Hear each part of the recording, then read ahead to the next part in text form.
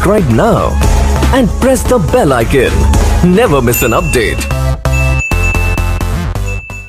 Hello dear students good morning જય Shri Krishna Gangotri school ગોંડલમાં આપનું હાર્દિક સ્વાગત છે તો આજે આપણે અભ્યાસ કરીશું મેથ સબ્જેક્ટમાં તો તેમાં આજે આપણે શું શીખીશું તે જોઈએ.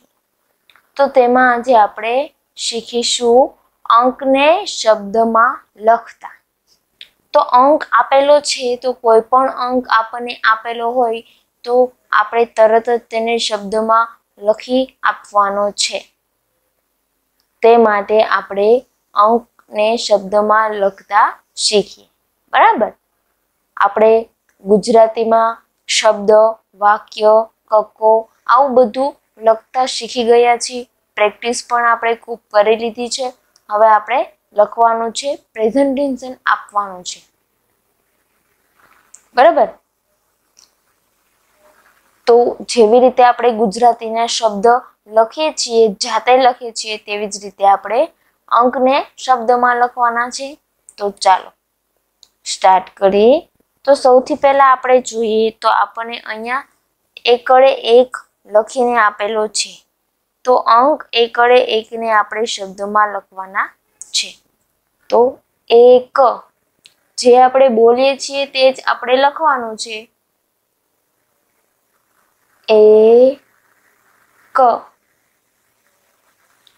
ત્યાર પછી બગડે બે આપેલા છે, તો બગડે બે ને આપણે શું કહેશું? તો કે બે.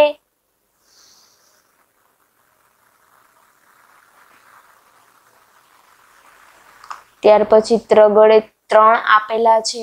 તો ત્યાં આપણે શું લખશું? તો કે ત્રણ ત્રણ, ત્યાર પછી ચોગડે ચાર આપેલા છે. તો આપણે ચાર લખીશું.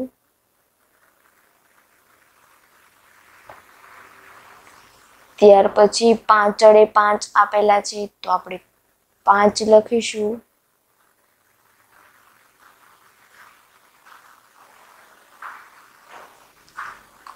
ત્યાર પછી છ વડે છ આપેલા છે, તો આપણે છ લખીશું.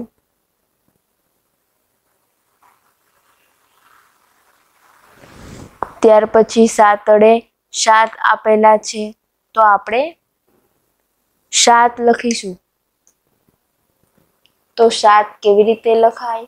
તે પણ આપણને ખ્યાલ હોવો જોઈએ કે સાત આ રીતે લખાય છે. ત્યાર પછી આઠ અડે આઠ આપેલા છે, તો આપણે આઠ વડે આઠ લખીશું.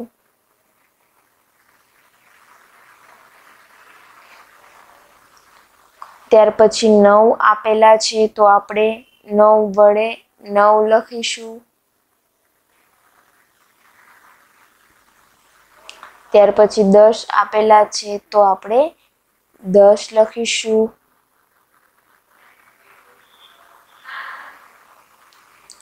તો આ જે શબ્દ આપણે જે લખ્યા, અંક સાથે જે શબ્દ આપણે જે લખ્યા છે, તે આપણે જાતે લખવાના છે. વિડીયોમાં જોઈને આપણે લખવાનું છે નહીં.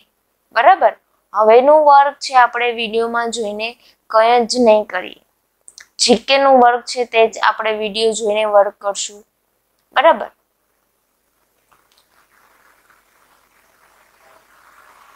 આવી રીતે આપણને જે લખવાનું વર્ક આવે છે તે આપણે વીડિયો સમજી લેશું અને ત્યાર પછી જાતે જ લખશું. ઓકે તો અંકના જે શબ્દ છે તે આપણે જાતે જ લખવાના છે. જેવી રીતે આપણે ગુજરાતી શબ્દ સમજ્યા અને લખ્યા તે જ રીતે આ પણ શબ્દ જ છે. ઓકે મમ્મી બોલતા જશે અને બાળક છે તે લખતા જશે.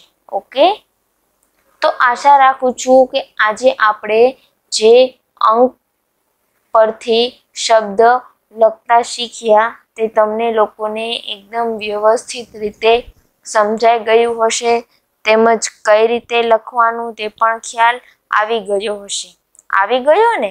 વેરી ગુડ તો ફરી મળીશું નેક્સ્ટ લેક્ચરમાં નવા જ ટોપિક સાથે.